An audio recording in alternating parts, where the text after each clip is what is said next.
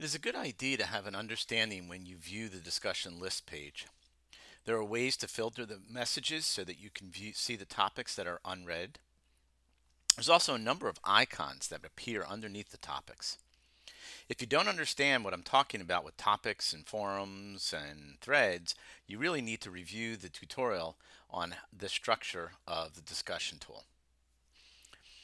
To get to the discussion list page, click the Submission Review tab on the nav bar and click Discussions.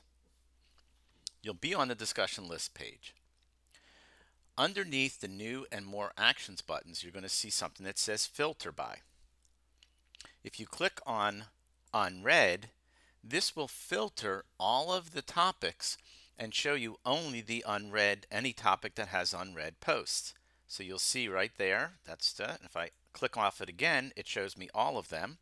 And again, you can see all of them or just those that have unread posts. So that's a really nice feature uh, and a time saver if you just want to see the, the topics that have unread posts on them. Across from the filter by is something called hide all topics. If I click hide all topics, it's going to collapse all the topics on the discussion list page. When you click on the hide all topics, underneath each forum name right here, you're going to get to see how many unread posts are in there, how many total posts there are, and how many topics are within each of those particular forums. When I click Show All Topics, it will expand all the topics. Now within the forum itself, underneath each forum, I have a hide topics for and the name of the forum. If I click that, it will then collapse the topics that are in that forum. And again, what it will also then show is how many unread posts, how many total, and how many topics are in there. What's nice about this is that it can keep you from having to scroll through a lot of pages if I'm not really looking at that particular discussion. And then again, I would click on the click to show and then it expands it. So within the topic itself, there's some columns. The first column, topic, would be the names of the topics or the titles of the topics within that forum that you created. And you create all the topics, students don't. Under threads, it's going to tell you the number of threads that are within that topic. And those were created by you or your students. Posts is interesting. This shows the total number of posts within that topic. Now, if you see the, a number in parentheses, that number tells you the number of unread posts.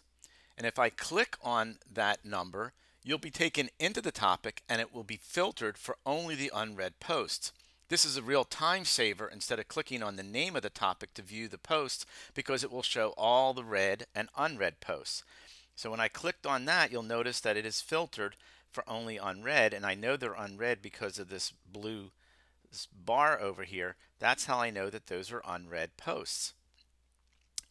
If I click back on the discussion list breadcrumb link, now if I click on the name of the topic, this will then show me all the read and unread posts that are within that topic. The last column, the last post column, displays the name and the date of the last person who posted to the topic. Now, there are also a whole slew of icons that are underneath the title topic. So I'm going to show you a, a bunch of these in some of the topics. Available. Available means that you have set a date for the visibility option of the topic. If you're not sure what I'm talking about, you may want to review the best practices for setting dates to make sure you understand how the, da the dates affect the, top, the, the discussion topic. You could see unlock. Unlock means you set the dates for the locking options for the topic. In this case, I set both, which is not a good idea. You might want to review again the best practices for setting dates tutorial to make sure you understand how the dates affect the topic. You may see something that says include assessment. That means that you've linked the topic to the gradebook. You may also see something that says post first. And that means that you set the topic so the student must do an original post before they can view other classmates' posts. You may want to review the tutorial on how to set a topic to post first to learn how to do this. When I scroll down, I may see something that says locked. Locked means that the end date has passed when you when setting the locking options. Students will not be allowed to, to, to do new posts, but they can read their posts and others' posts for students, so they can review the posts. If you see hidden, this means that the end date has passed when the setting the visibility options. The students no longer have access to the topic, which means they cannot view their posts or other students' posts. You may see something that says has release conditions.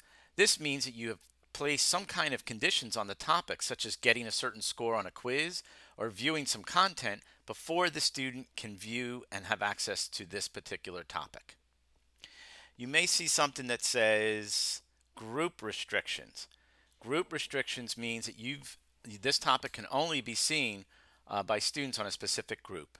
And finally, one that probably you will not use or might not have, but if you do, moderated. This means that you've set the topic to be moderated, which means that you must approve all messages before they are posted to the topic.